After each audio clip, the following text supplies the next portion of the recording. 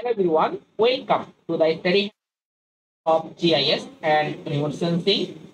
Today I will try to discuss a very important topic, how we can be use types of geospatial data type such as shapefile, GeoJSON and geopackage and which format is better for which project.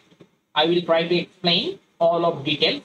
Then I hope you can easily choose your own format apply for your own project work. So basically, uh, shapefile, GeoJSON, GeoPackage for geospatial data depends on several factors, including the use case, software environment, data complexity, and required feature. So today's session, I will try to explain all of those process and what the uses of shapefile, GeoJSON, and GeoPackage, and we also try to decide which format you have to use for your own project. So let's go. I will try to explain all of those things one by one. So first of all, shapefile extension .shp and shapefile is best for compatibility with legacy system and simple dataset. And there's a lot of pros we find out when you want to use the shapefile.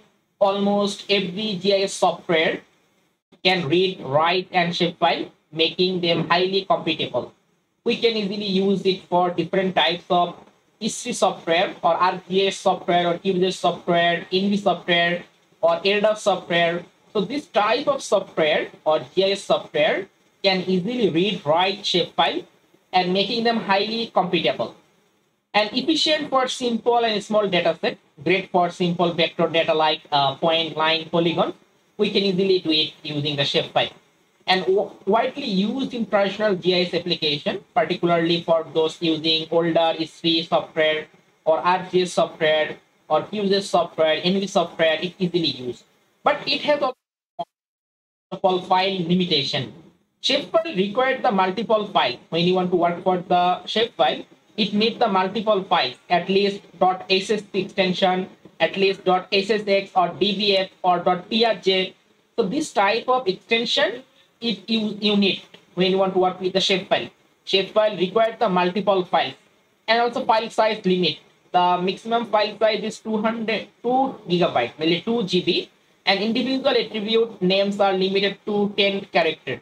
And no support for the advanced data type, limited attribute table support, no support for multiple geometry types in one file. So these are the uh, cons of the using the shapefile. So now let's check uh, the use of shapefile. So you are working with GIS software. If you want to use ArcMap or QGIS software or system that record the shapefile, you can easily use it. And you need to share simple vector data across the different platforms. You can also use it, no problem. Then we talk about the GeoJSON. If the extension is the .geojson, it's best for web application, lightweight data sharing, and data interoperability. And the pros is that lightweight and human readable. GeoJSON is based on the JSON, which makes it simple to read, write, and debug, and ideal for web mapping. So when you want to work for the web GIS, we have to use the different types of JavaScript library, such as Leaflet, Mapbox, and which make it excellent for the interactive web maps. So it easily support this type of GeoJSON file. Support point, line, and polygon geometry. GeoJSON is flexible and support for various geometries and single file. So everything geometry or attribute is uh, sorted, stored in a single file. But previous time for the shape file, it stored the different different file. So for that, when you want to use the shape file, we have to use the multiple files. But when you want to use the JSON file, file. So this is another benefit to use the GeoJSON.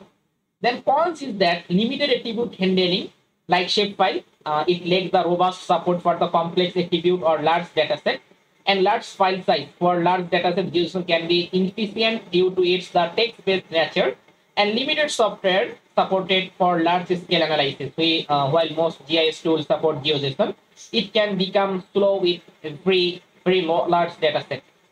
Okay, but if you want, you can also use it for web-based mapping and application or need a format that easy to exchange the between system. You're working with a relatively small dataset or need the cross-platform easily. And first, finally, GeoPackage. So this is the most popular .gpkg extension. and its large data set, complex geospatial data, or modern GIS project, we can easily do using the geo package. And pros is the single file. Unlike shapefile or geo package, stored all data, geometry, attribute, and metadata in one SQL SQLite-based file and support the large data set. GeoPackage can handle the large and complex data set efficiently as well as advanced capability, support the raster data, multi-geometry feature and spatial indexing, making it the suitable for a variety of GIS application. Compact and efficient file size are smaller than shapefile or GeoJSON when storing the large data set and open standard, fully open and non-priority uh, developed by the Open Geospatial Consortium and it also some cons is that not universal supported. While gaining the popularity, it may not be as the universal supported as Shapefile in some older or limited GIS software. More complex for basis users or simple tag GeoPackage uh, maybe be more what is needed. And uses, there's a lot of uses when you want to work for the large data set or complex data set, including multiple layers or types of geospatial data or you requirement advanced GIS capabilities like spatial indexing or raster data handling or efficient storage, you want to an open modern format that is designed for both spatial and non-spatial data. So now which um, which to choose? Suppose when you want to go to the shapefile, GeoJSON and GeoPackage, shapefile use it if you need the maximum compatibility with older system or need to extend the simple uh, vector data widely or GeoJSON based for web-based application for lightweight data exchange, and GeoPackage, the modern efficient choice for complex data set advanced geospatial project when you want to everything in one file, then you can easily use the geo process, GeoPackage. Okay. So this is the overall uh, summary for that shapefile, GeoJSON, and GeoPackage, and which format to use for which project. I hope you can easily get the idea. Okay. So if you have any question or any doubt, you can simply contact, or if you want, you can also comment in the video description. And if you can get this type of uh, document, you can simply visit my uh, Google, visit my uh, LinkedIn page as well as you can also visit the Telegram group or to WhatsApp group. From here, you can easily get this type of document for the rate. So today's no more. Thank you for watching that. Stay happy, stay safe.